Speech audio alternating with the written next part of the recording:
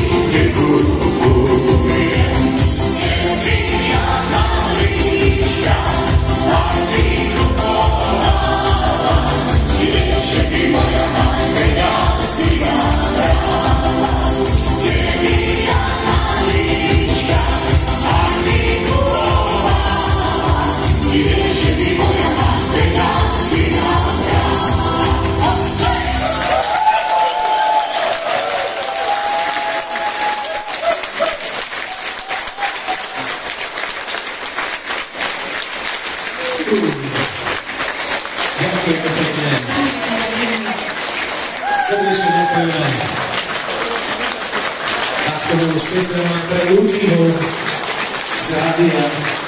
Kde žije Luky? Sofie, ahoj. Ahoj, ahoj, pozdravujeme sa.